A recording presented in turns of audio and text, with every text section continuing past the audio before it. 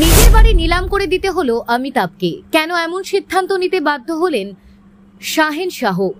হাতে একটা পয়সা নেই। নিরাপত্তা রক্ষীদের পর্যন্ত বেতন দিতে পারছেন না অমিতাভ বচ্চন। পরিস্থিতি এমনই যে নিজের জুহুর বাংলো পর্যন্ত নিলাম করে দিতে হলো। সেই সময় গোটা বলিউড নাকি তার দিকে তাকিয়ে হেসেছিল। দাবি করেছেন রজনীকান্ত।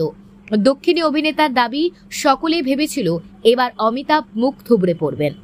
কিন্তু না তিন বছরের মধ্যে ঘুরে দাঁড়িয়েছিলেন নিজের অদম্য জেদ নিয়ে। শীঘ্রই মুক্তি পেতে চলেছে ভেট্টাইয়ার। রজনীকান্তের পাশে ছবিতে দেখা যাবে অতীশ পর অমিতাভকেও। তিন দশক পর একই ছবিতে কাজ করতে চলেছেন ভারতীয় চলচ্চিত্র জগতের দুই মহুরুহু। এটি রজনীকান্তের একশো সত্তরতম ছবি। এর আগে দুটি মহাতারকাকে একসঙ্গে দেখা গিয়েছিল হাম ছবিতে।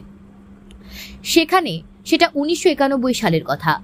তার আগে অন্ধা কানুন এবং গ্রেপ্তার ছবিতে জুটি বাঁধেন তারা। সম্প্রতি এক সাক্ষাৎকারে রজনীকান্ত অমিতাভের প্রতি তার শ্রদ্ধার কথা জানিয়েছেন। সে কথা বলতে গিয়ে থালাইভা বলেন, একটি ছবি প্রযোজনা করতে গিয়ে বড় ক্ষতির সম্মুখীন হয়েছিলেন অমিতাভ। নিরাপত্তা রক্ষীকে বেতন দেওয়ার মতো ক্ষমতাও ছিল না। নিলাম হয়ে যায় তার জুহুর বাংলো। সকলে যখন ভাবছেন সব শেষ, ঠিক তখনই তিন বছরের মধ্যে ঘুরে দাঁড়ালেন অমিতাভ। কেবিসির দৌলতে তিনি ফিরে পেলেন অর্থ প্রতিপত্তি। তিনটি বাড়ি কিনলেন, জুহুতে যেখানে বাড়ি বিক্রি হয়ে গিয়েছিল সেই রাস্তায় ফের বাড়ি করলেন।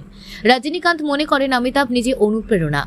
বিরাশি বছর বয়সেও তিনি দশ ঘণ্টা কাজ করতে পারেন।